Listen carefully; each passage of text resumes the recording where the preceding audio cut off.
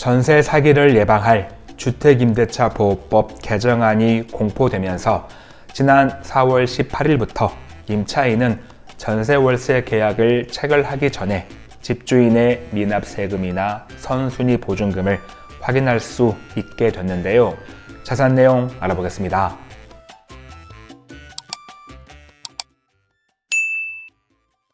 네, 안녕하세요. 박찬웅의 부동산 쇼 부자남 박찬웅입니다. 이번 시간은 지난 4월 18일 날 공포가 된 주택임대차 보호법 개정안에 관한 내용입니다. 이 개정안은 지난 3월 30일 날 국회 본회의를 통과하고 나서 바로 공포가 된 게 아니고 약 20일 정도 지나고 나서 4월 18일 날 공포가 됐습니다. 주된 내용은 전세 사기를 예방할 수 있는 내용인데요. 음, 임차인이 집주인과 임대차 계약, 그러니까 전세 월세 계약을 체결하기 전에 집주인의 미납 세금 그리고 해당 주택의 선순위 보증금을 확인할 수 있도록 하는 법안입니다. 어, 실제 법 전문을 보고 다시 한번 설명드리겠습니다. 지금 보시는 법이 바로 4월 18일 날 개정된 주택임대차 보호법입니다. 제3조의 7 임대인의 정보 제시 의무라고 되어 있죠. 임대차 계약을 체결할 때 임대인은 임대인은 집주인입니다. 집주인은 다음 각 호의 사항을 임차인에게 제시하여야 한다라고 되어 있죠. 1호를 보니까 제3조의 6, 제3항에 따른 해당 주택의 확정일자 부여일, 차임 및 보증금 등 정보, 이러한 정보들을 임차인에게 제시하여야 한다라는 겁니다. 그러니까 지금 임대차 계약을 체결하려고 하는 그 임차인에게 그 임차인보다 먼저 들어와 살고 있는 그러니까 이러한 사항은 이제 다가구 주택에 해당이 됩니다. 다가구 주택 가구가 여러 개인 그래서 어, 지금 계약을 체결하려고 하는 임차인보다 먼저 들어와 살고 있는 임차인 임차인이 여러 명이라면 임차인들의 확정일자 부여일 각 가구당 확정일자 부여일과 월세 그리고 임대보증금 전세라면 전세보증금 등의 정보를 알려줘야 된다라는 거죠.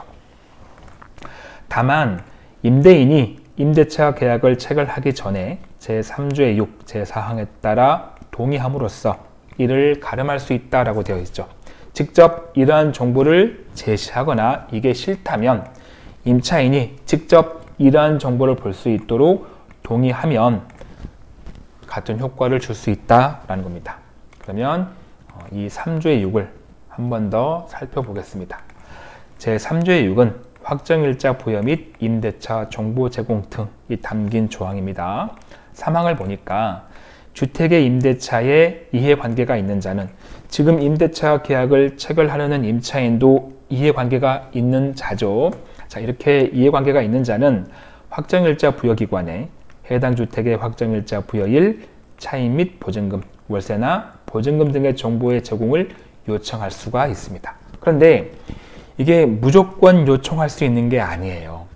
어떤 단서가 뭐냐면 사항에 그 부분이 담겨 있습니다.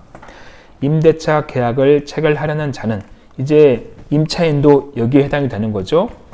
임대인의 동의를 받아서 확정일자 부여기관에 요청을 할 수 있는 거예요. 임대인이 동의 주지 않으면 요청할 수가 없다는 얘기입니다. 때문에 이번에 이 주택임대차 보호법이 개정되기 전에는 임대인이 집주인이 이러한 내용을 동의하지 않으면 임대차 계약을 체결하려고 할 때 임차인이 선순위 보증금 정보를 알 수가 없었던 거예요. 동의 안 해주니까. 그래서 다가구 주택에서 전세 보증금을 받지 못하는 사고가 아주 많이 벌어지게 된 겁니다. 제가 먼저 설명드렸던 이 개정안은 이번 주택임대차 보호법이 개정될 때 새롭게 신설된 조항입니다. 그러니까 이게 이 3조의 7이 기존에는 없었던 거예요. 새롭게 만든 겁니다. 자, 그러면서 집주인이 직접 임차인에게 확정일자 부여일이나 차임 및 보증금 정보를 알려주거나 아니면 반드시 임차인이 이러한 정보를 볼 수 있도록 동의를 해줘야 된다. 라고 개정이 되면서 이제는 임차인이 임대차 계약을 체결하기 전에 해당 주택의 선순위 보증금 정보를 알 수가 있게 된 겁니다. 2호를 보니까 국세징수법 제108조에 따른 납세증명서 및 지방세징수법 제5조 제2항에 따른 납세증명서 다만 임대인이 임대차 계약을 체결하기 전에 국세징수법 제109조 제1항에 따른 미납국세와 체납액의 열람 및 지방세징수법 제6조 제1항에 따른 미납지방세의 열람에 각각 동의함으로써 이를 가름할 수 있다고 되어 있죠. 이건 마찬가지로 임차인이 집주인과 임대차 계약을 체결하기 전에 집주인은 반드시 임차인에게 본인이 국세에 대해서 다 완납했는지 그 완납 증명서 뿐만 아니라 지방세도 다 완납했는지 그 완납 증명서를 제시해야 됩니다. 임차인에게 알려줘야 된다는 거죠.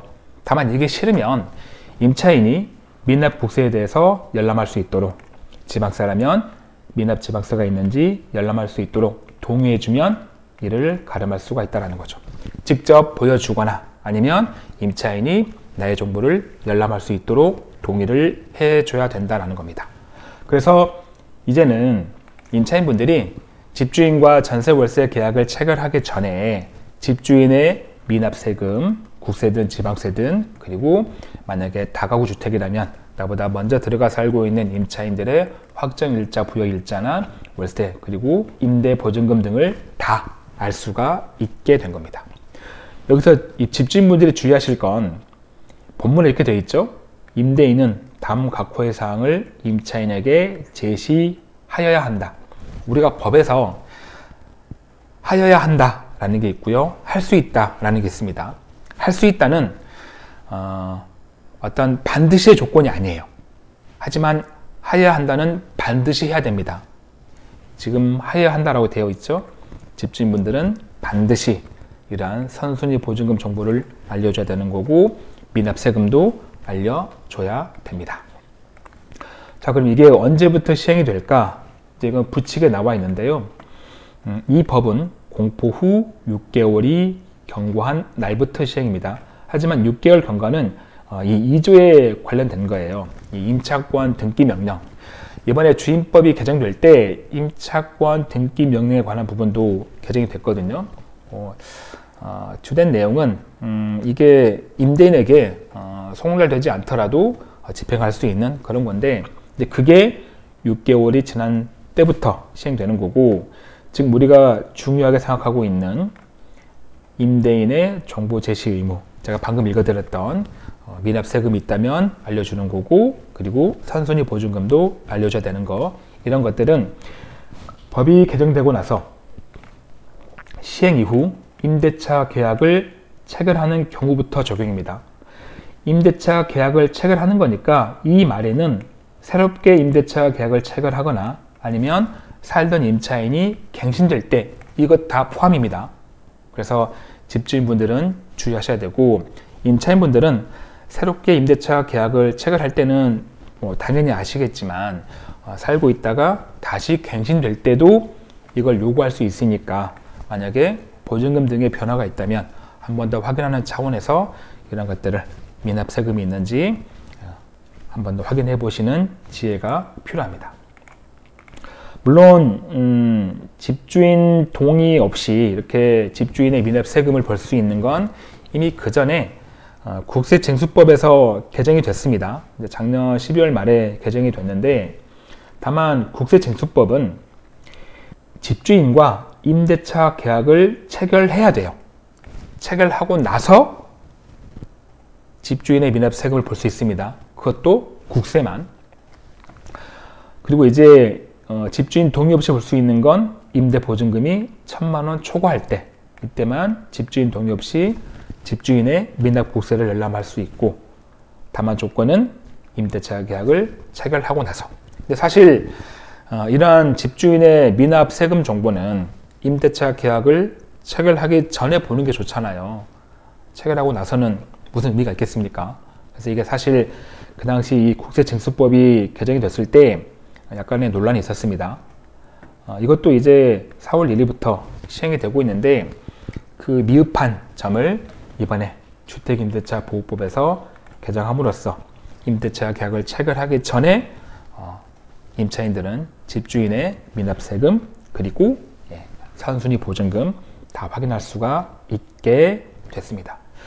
집주인 미납세금이니까 음, 지방세도 다 포함해서 볼 수 있는 겁니다. 어, 어제였나요? 기사 보니까 이런 기사가 있었습니다. 음, 이제 이 기사는 국민일보 강창욱 기자님이 작성해 주신 기사인데요. 1분기 전세 보증 사고 7,974건, 사상 최대, 절반은 다가구. 이 다가구가 바로 선순위 보증금 문제예요. 나보다 먼저 들어가 있는 임차인들의 보증금이 얼마인지, 확정일자를 언제 받았는지 이걸 알지 못하다 보니까 내가 임차에서 들어갔을 때 내가 몇 번째 순위인지 그러면 내 보증금을 이 집이 문제가 생겼을 때 온전하게 돌려받을 수 있는지 이걸 알지 못한다는 거죠. 예. 지금 기사 보시면 소제목에도 전분기 3.3배 작년 전체 60% 해당이 된다라는 겁니다. 그래서 다가구에 대한 데이터를 보니까요. 음, 이 자료는 양경숙 더불어민주당 의원실에서 제출한 자료입니다. 올해 1분기 주택 전세 보증금 반환 보증 사고가 7,974건, 지난해 4분기 대비 3.3배. 지난해 4분기가 2,393건이니까 3배가 넘은 거죠. 예, 분기 기준 사상 최대 규모 엄청나게 예, 보증 사고가 터진 겁니다. 어, 이 사고는 허브에서 전세 보증금 반환 보증에 가입한 임차인이 전세 계약을 해지하거나 종료 또는 해당 주택 경매나 공매 후에도 보증금을 돌려받지 못한 경우를 말하는데 사실 전세 보증금 반환 보증을 다 가입한 게 아니잖아요. 가입 조건이 안 돼서 가입하지 못한 임차인도 있습니다. 그런 분들의 어, 보증금 미반환 건까지 감안한다면 실제 이 전세 문제는 훨씬 더 심각합니다. 지금 기사에 나오는 것처럼 뉴스에 나오고 어, 주택 유형별로 보니까 다가구 주택이 3,928건으로 전체의 절반에 육박하는 49.3%입니다. 7,974건에서 3,928건 그렇죠 거의 절반이죠. 이 지난해 1년치 이 전세 보증 사고가 6,678건이니까 어, 작년 1년치에 비교했을 때도 거의 60%에 해당합니다. 58.8%니까 그게 올해 첫 3개월 사이에 발생을 했다라는 겁니다.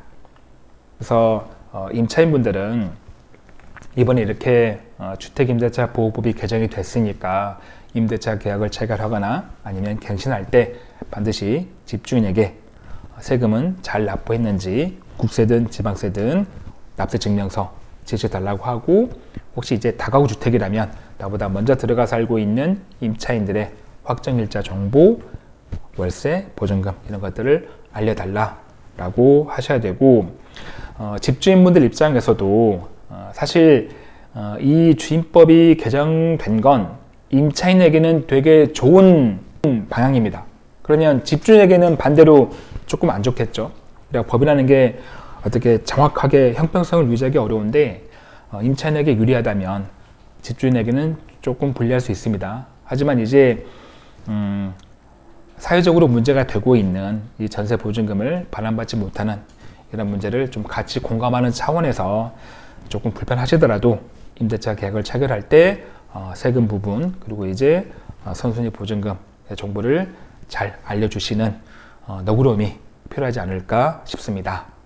마무리할 시간입니다. 저에게 큰 힘이 되는 구독하기와 좋아요, 알림 설정 꾹 눌러주시고요. 저는 다음 영상에도 최선을 다하겠습니다. 고맙습니다.